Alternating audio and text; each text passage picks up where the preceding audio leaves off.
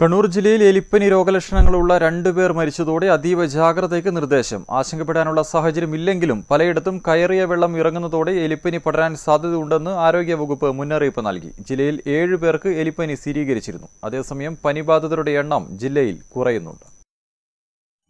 എലിപ്പനി ലക്ഷണങ്ങളെ തുടർന്ന് ആശുപത്രിയിൽ പ്രവേശിപ്പിച്ച കോളയാട് ആർളം മേഖലയിൽ നിന്നുള്ള രണ്ടുപേരാണ് കഴിഞ്ഞ ദിവസങ്ങളിൽ മരിച്ചത്. ആർളം സ്വദേശി മരിച്ചത് ഒരു ദിവസം മുമ്പാണ്. മരണം റിപ്പോർട്ട് ചെയ്യപ്പെട്ടതോടെയാണ് എലിപ്പനി ജാഗ്രതാ മുന്നറിയിപ്പ് ആരോഗ്യവകുപ്പ് നൽകിയത്. ജില്ലയിൽ ഈ വർഷം നാൽപ്പത്തിമൂന്ന് പേർക്കാണ് എലിപ്പനി രോഗലക്ഷണങ്ങൾ കണ്ടത്. അന്തിമ പരിശോധനയിൽ ഏഴുപേർക്ക് രോഗം സ്ഥിരീകരിക്കുകയും ചെയ്തിരുന്നു. നിലവിൽ ഒരാൾ പരിയാരം മെഡിക്കൽ കോളേജ് ആശുപത്രിയിൽ ചികിത്സയിലുണ്ട്.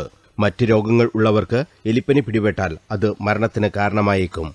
എലിപ്പനി രോഗലക്ഷണങ്ങളോടെ മരിച്ച രണ്ടുപേർക്കും മറ്റു രോഗങ്ങളും ഉണ്ടായിരുന്നു. കാലവർഷത്തിൽ വീടുകളിൽ അടക്കം വെള്ളം കയറുന്ന സാഹചര്യം ഉണ്ട്. വെള്ളം ഇറങ്ങുമ്പോൾ എലിപ്പനി അടക്കം പടരാൻ സാധ്യത ഉണ്ടെന്നാണ് മുന്നറിയിപ്പ്. എലിമൂത്രം കലർന്ന വെള്ളത്തിൽ ചവിട്ടിയാൽ കാലിൽ മുറിവുകളുണ്ടെങ്കിൽ രോഗം പടരാൻ സാധ്യത ഏറെയാണ്. മറ്റ് മൃഗങ്ങളിൽ നിന്നും ഇത്തരത്തിൽ രോഗം പടരാൻ സാധ്യതയുണ്ട്. ഡെങ്കിപ്പനിയും ജില്ലയിൽ പടരുന്നുണ്ട്. മുപ്പത്തിയാറ് പേർക്കാണ് ഡെങ്കി ലക്ഷണങ്ങൾ കണ്ടത്. ഇതിൽ ഒൻപത് പേർക്ക് രോഗം സ്ഥിരീകരിച്ചു. പനി ബാധിതരുടെ എണ്ണത്തിൽ കുറവുണ്ടായിട്ടുണ്ട്. ദിനംപ്രതി ആയിരത്തി അറുന്നൂറോളം പേർക്ക് പനി ബാധിച്ചിരുന്ന സ്ഥാനത്ത് കഴിഞ്ഞ ദിവസങ്ങളിൽ അത് ആയിരത്തി ഒരുന്നൂറായി കുറഞ്ഞു.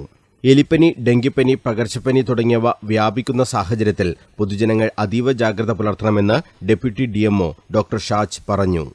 News bureau Kannur.